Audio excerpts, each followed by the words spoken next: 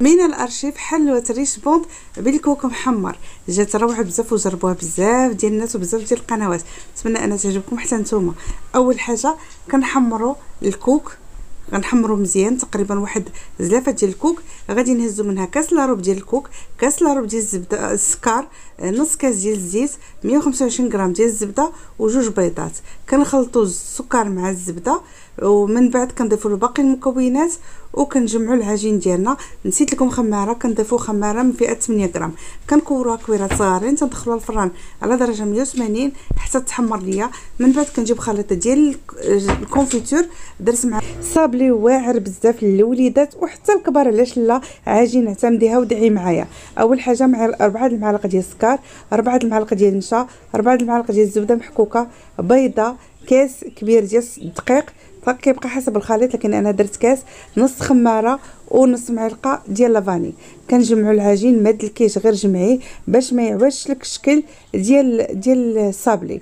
من بعد كنسرحوا العجين بين جوج ديال البلاستيكات أو ما بين دقيق هكا وكتقطعيه. ما تدوريش المول لأن عفوا ما تدوريش المرشم. إلا دورتي المرشم غادي يعوج لك غير كضربيه هكا وكتهزيه صافي من بعد كندخلو الفران على درجة 180 وكنعمرو باش بغيت. أنا غنعمرو بنيتيلا انت عمري بلي عندك بالكراميل بأي حاجة. ممكن هاد العجين تعتمديها لأي صابلي آخر بغيتي ديريه ماشي بالضرورة هاد الشكل. أنا هادي كنت حضرتها في الدخلة المدرسية للوليدات ونتمنى أنك تجربيه وتدعي معايا بالشفاء. فكرة لعيد ميلاداتكم وحتى العيد علاش لا نفرحوا بها الوليدات أول حاجة كنجيبوا البسكوي عندي هنا بسكوي ماريا والكراميل اللي حضرت معكم راه كاين في الحساب. كندير شوية ديال الكراميل شوية ديال البسكوي هكا وحدة على وحدة على وحدة تنوصل القياس اللي بغيت. أنا درت ربعة ديال الحبات مع بعض ومن بعد غادي نغطيهم بالشوكولا. كاينين كيجيو زوينين. الآخرين غادي ندير فيهم نوتيلا وحتى هما غندير طبقة على طبقة. ممكن ندير حتى الكريمه علاش لا؟ كيجي المنظر زوين.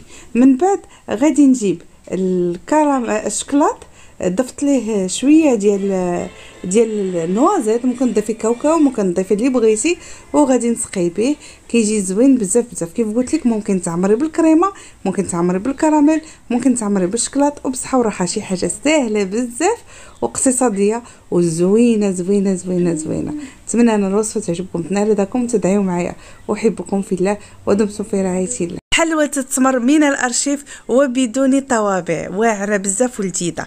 أول حاجة غادي نحتاجو نص كاس ديال اللوز ممكن تعوضي بزنجلان 125 غرام. ديال التمر غادي نحتاجو ملعقة صغيرة ديال الزبدة وشوية ديال المزهر وشوية ديال القرفة كنكوروها كندير طويلة وهكا صغيرة. بالنسبة للعجين غنحتاج 100 غرام ديال الزبدة. نص كاس ديال المزهر نص كاس ديال الزيت الفانيلا آه خمارة ساشي ديال الخماره نص كاس ديال السكر صافي والدقيق غادي نجمعوا المكونات كاملين بالأصابع ديالنا. وغادي نخليوها جانبا. ممكن تقطعيها. على الاشكال اللي بغيتي؟ كيف كتشوفوا أنا درتها مثلثات هنا باش غنديرها بحال الكرواسون وتنعمرها بالحشوة. هذه غادي نجيب هاد السباتولا هذه وغادي نعمرها حتى هي بالحشوة وغادي نجمعها على شكل هلال والاخرى غادي نديرها كرات هكا وغادي ندير لهم بحال الوريضات غادي نجمعهم من الجوانب. غندخلها الفران على درجة 180 ومن بعد كنديرها بالسكر وهي سخونة. بصحة وراحة. لينا الأرشيف صابلي راقي بزاف بحشوات غزالين نتمنى أنه يعجبكم نار رضاكم تجربيه تدعي معايا. أول حاجة غادي نحتاجوا البيضة 125 غرام ديال الزبدة آه، نص كاس ديال الزيت و100 غرام ديال السكر فانيلا. أول حاجة كنخلطوا الزبدة مع السكر من بعد الزيت من بعد كنضيفوا البيضة. الفانيلا كنضيفوها في الأول وكنجمعوهم بالأصابع ديالنا بالدقيق. بالنسبة للحشوة عندنا 50 غرام ديال الزبدة بيض بيضة عندنا 50 غرام ديال السكر والكاوكاو كيبقى حسب الخليط يعني خاص واحد الكمية اللي تخلي الخليط يقدر يخرج ليا من البوش. كنقطعها حسب القياسات اللي بغيت وغتشوفوا شنو غادي ندير. فهادو اللي صغيورين غادي نزينهم بداك الخليط اللي درتي ديال الكاوكاو كنديرو هكا والاخرين غنديرهم مربعين وغادي ندوزو على شكل مربع. هادي غادي ندير لها غير هكا وغادي نقطعها على جوج. ديال ال confiture اللي درت فيهم الثقوب أنا كنعمرهم دابا بال confiture سكر glacé والاخرين غادي نجيب الكاوكاو من الأرشيف البهلة بزرعة الكتان كتجي واعرة بزاف وناجحة. أول حاجة عندنا نص كاس ديال الزيت كاس ديال الزبدة دايبة آه، نص كاس ديال السكر خمارة وغادي نحتاجو نص كاس ديال زريعه الكتان. آه اللي بغيتي تعبري بقياس آخر فماشي مشكل ممكن تعبري باللي بغيتي. آه كنضيفوا الدقيق كيبقى الدقيق حسب الخليط. أول حاجة غادي نديروها غادي نحمروا زريعه الكتان. خاصها تحمر غير شي شوية باش يجي المذاق ديالها باين وتجي مقرمشة لداخل. كنضيفوا كيف قلت لكم نص كاس ديال السكر نص كاس ديال الزيت كاس ديال الزبدة دايبة وكنضيفو خمارة وكنضيفو الدقيق حسب الخليط. تبارك الله ما شاء الله هاد الكمية راه كتخرج واحد يعني واحد الطبيسيل لا بأس به. من بعد كنكورها وتندخلها الفران تكون مشعولة النار غير من الفوق حتى تشقق ليا تماما.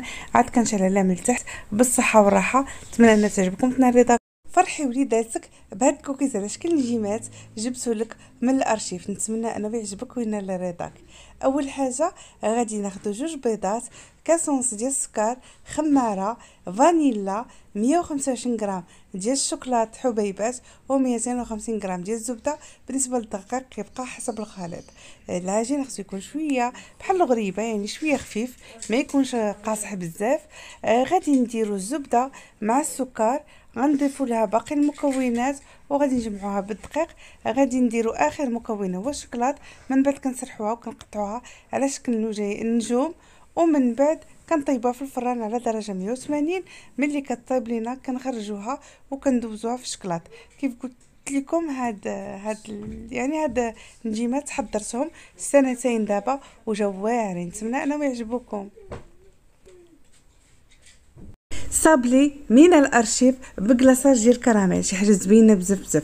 أول حاجة عندنا 125 غرام ديال الزبدة 100 غرام ديال السكر نص كاس ديال الزيت وبيضه فقط هذو المكونات بدون خميرة تيجي واعر بزاف.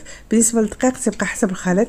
أول حاجة تنخلطوا الزبدة تنضيفوا ليها الزيت. من بعد تنضيفوا البيضة. من بعد تنضيفوا الدقيق راكم عارفين القوام ديال الصابلي كيفاش غيكون. العجين ما خاصوش يدلك نهائيا غير يتجمع من بعد كنجمعوا في البلاستيكة وتنسرحوا وتنقطعوا حسب الشكل اللي بغيت.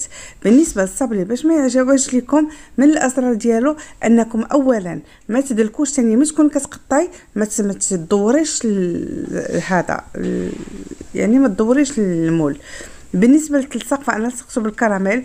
آه، هنايا غادي نديرو كلاصاج الكلاصاج عندي الكراميل المنزلي اللي حضرنا.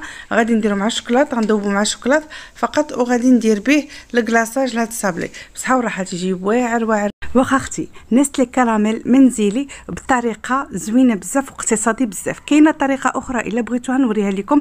كيجي حتى هو زوين بزاف. المهم غادي ناخذ هنايا زلافة ديال السكر. غادي ندوبها وناخذ زلافة ديال الحليب. غادي نضيف لها ملعقة كبيرة عامرة مزيان ديال النشا وملعقة ديال الزبدة. أنا ما عنديش الزبده خديت هاد ديال الزبدة حتى هي مزيانة. كندوب هنايا الشكل آه، السكر. خاصني نتسنى حتى يبدا تيذوب وعاد نبدا تنخلط بشوية بشوية باش ما يتحجرش ليا. من بعد كنضيف له ملعقة ديال الزبدة. ومن بعد تنضيف له هذاك النشا مع الحليب.